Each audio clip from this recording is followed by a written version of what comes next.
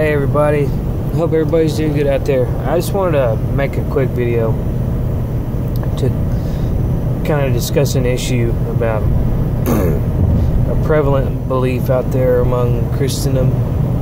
Okay, it's the belief that uh, that even though you're saved, you still have a wicked heart. Okay, it's that even though you're saved, your heart is disgusting still. And that somehow in this Christian life, what you are your job to do now is to try to clean up your heart a little bit every day. And people think it's humble to walk around and say that they have a dirty, wicked, disgusting, filthy heart. And they're just a filthy worm.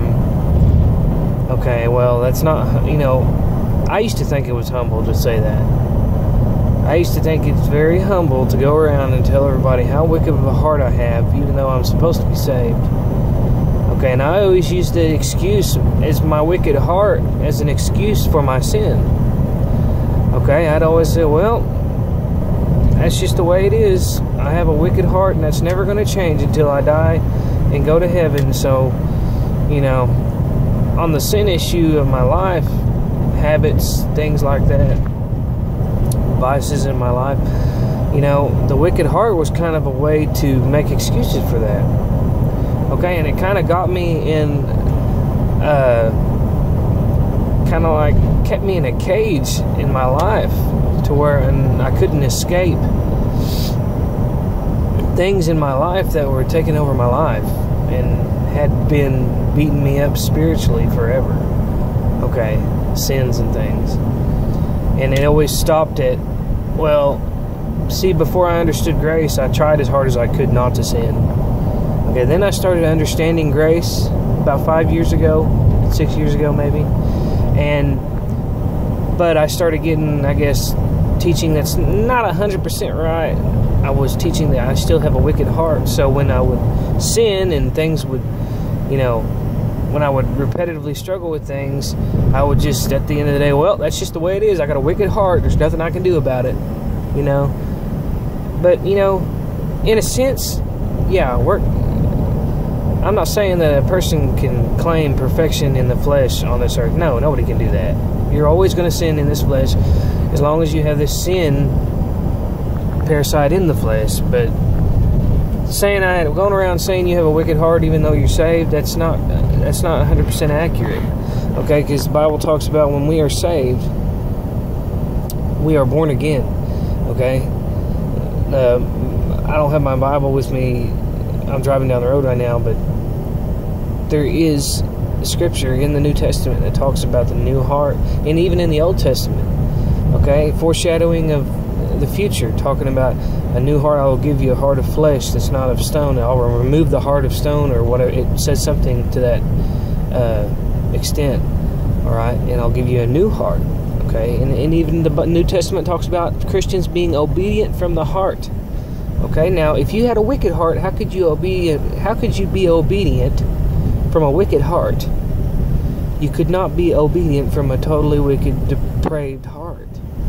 Okay, that totally wicked, depraved heart was taken out of you, surgically removed, the moment that you believed in Christ.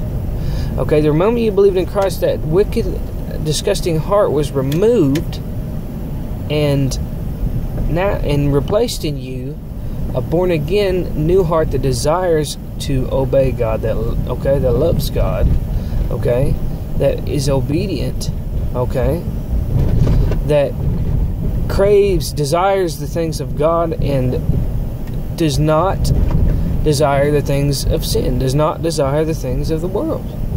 Okay? Now all that aside, the biggest the big question comes up. Okay, then why do we still sin? Okay, why do why do we still sin if uh, we have a new obedient heart that okay doesn't want to sin? Well, it's because we still have the sin parasite in this flesh. Okay, and we still have a free will to choose sin or to not choose sin. But when you choose sin, that's not your new born again heart choosing that sin, okay? Because your new born again heart does not agree with that sin. All right? That's you making a dumb decision based upon your past experience of when you used to be an unsaved person. Okay? Now, when you get saved, see, God does not remove your free will. Okay? when you get saved, you still have the free will to choose sin or to not choose sin. I mean, just think way back from the beginning in Genesis. Did did Adam have a wicked heart in the in the uh, garden? No, he did not. Okay, and he still chose. Okay, part of the reason, you know, well, Adam chose to eat the fruit too because Eve was condemned, and I believe his great love for her, he wanted to go down with her, and that's the shadow of Christ, what Christ did for us. Everybody knows that, you know, because of what we did, the Lord took our place, you know, died for us. Adam is like a shadow of that, you know, seeing Eve eating the fruit, and he, whatever God had to do to Eve, well, he was thinking in his mind, well, you're, God, you're going to have to do that to me too, you know, so that's the shadow of Christ. But, anyways, getting off of that, what I was getting at is the heart issue. Okay, why do we still sin if we have a new heart? Well, it's because we still have a free will, and we still have the sin parasite in our bodies. Okay, all right, that is not part of our heart.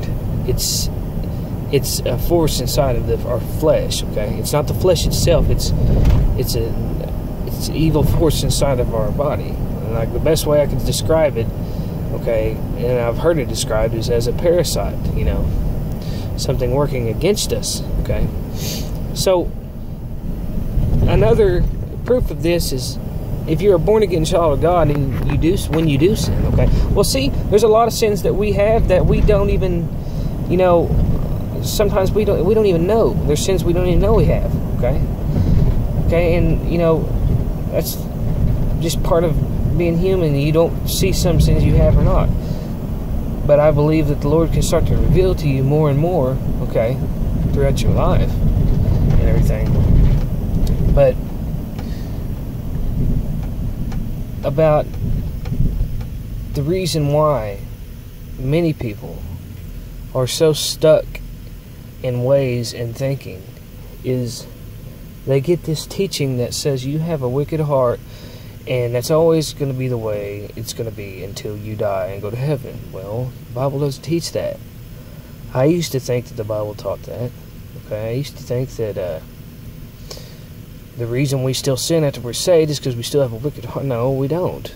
It's the sin in the flesh that we can choose to sin or not to sin. Okay, and when you just think about it, what I was getting on a while ago, I kind of forgot. Sometimes I get I forget. When you choose to sin, if you're born again child of God, your heart is not going to agree with that. Your flesh is going to like it. Your heart's not. Okay, that's what I've shown in a few of my recent videos. Okay, your heart does not agree with that.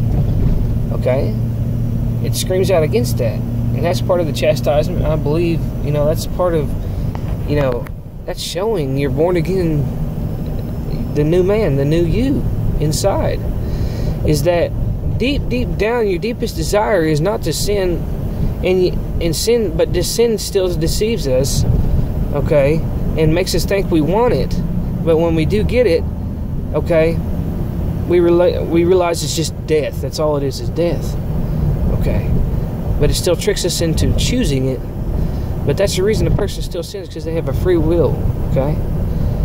But thank God that Christ died for all our sins, okay? Because if he didn't, we'd all be condemned to hell. But that's it for this video, everybody. Um, you do not have a wicked heart if you're a born again believer. I don't care what anybody tells you. Yeah, there are scriptures for wicked heart, but that's back in the Old Testament. Okay? That's before the Holy Spirit came to reside in you forever. That's before a person became a new creation in Christ. Okay? That's not in the New Testament. You will not see you will see some scripture in the New Testament that talks with a certain in a certain way that some people take as saying that you still have a wicked heart, but that's not what it's saying. Uh, but yeah, the main scripture people go to to say yes, you still have a wicked heart is Isaiah, I think okay? Uh, talking about the depraved, wicked heart. But see, that's that's not New Testament. Okay, that's not new creation. Okay, that's talking about man before they're regenerated. And then after you're regenerated, you have a new heart that is you become obedient from it. Okay? It's an obedient heart to God. And the only way it can be fulfilled is the things of God, God's Spirit. Okay? And when you do sin, it does not agree with that and it grieves you. Okay? But God bless everybody. We have become obedient from the heart because we are children of God. We do not have wicked hearts anymore. We have a free will that we can choose to sin. We don't have to sin, but when we do, Christ has already taken care of that. Okay? So, people out there, don't beat yourself up. There is a way out. Okay? Of every temptation, there's a way out. Of every every vicious cycle of uh, addiction that anybody's struggling with. Okay? The number one thing is to realize that you do not have to go through with this. Okay, our flesh makes us want the sin in our flesh makes us want to feel like we have to do it. Okay? But there's an awesome thing that you can think, well, is this going to produce life or is this going to produce death? Okay. We get so caught up in the moment sometimes when the enemy sends thoughts and sends things in our lives, okay, that temptations that makes us want to go the wrong way, okay?